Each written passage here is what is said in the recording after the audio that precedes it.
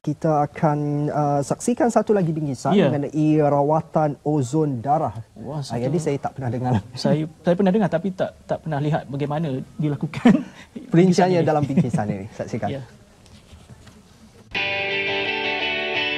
Terapi ozon semakin mendapat tempat dalam kalangan masyarakat di negara ini yang mahu mencuba rawatan alternatif.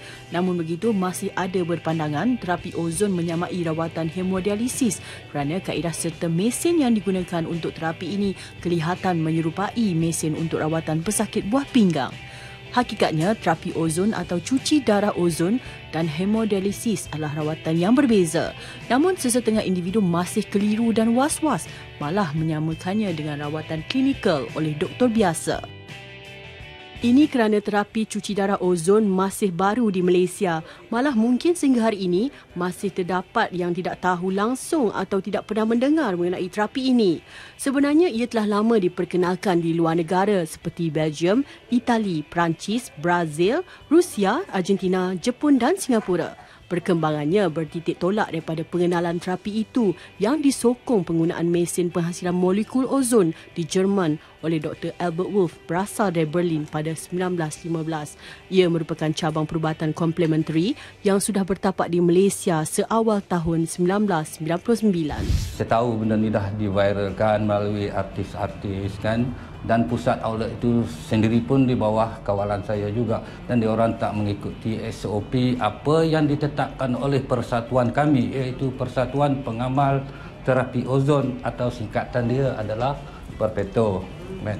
Jadi diorang main drip-drip cantik-cantik apa putih gebu beli Cinderella ada from Korea, Taiwan. Jadi benda ni yang bermasalah bukan terapi ozon itu sendiri.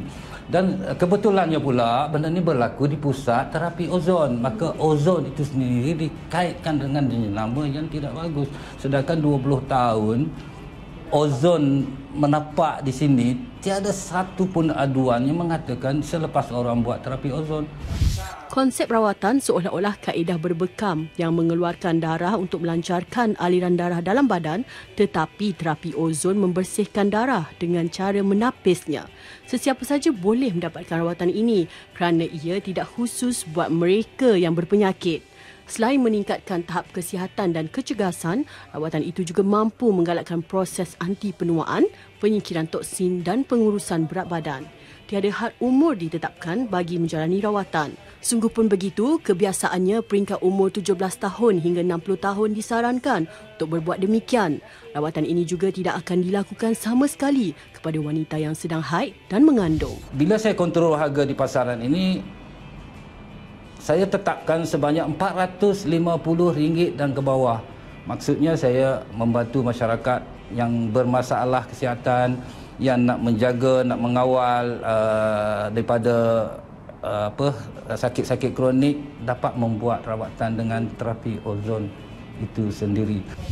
Rawatan ozon tidak mengendepikan kepentingan perubatan moden kerana ia lebih kepada pelengkap bagi perubatan moden. Contohnya, pesakit yang berhadapan dengan masalah darah tinggi tidak akan disuruh menghentikan pengambilan ubat. Terapi ozon sebaliknya bertindak membersihkan darah daripada radikal bebas yang boleh mengganggu penyerapan ubat. Secara tidak langsung, terapi ozon membantu keberkesanan perubatan moden. proses rawatan ini lebih kepada menjaga kualiti darah. Yang mana kalau kualiti darah tu bersih, sudah pasti penyakit ataupun selebihnya tidak itu tidak akan jadilah seperti yang kita jangkakan.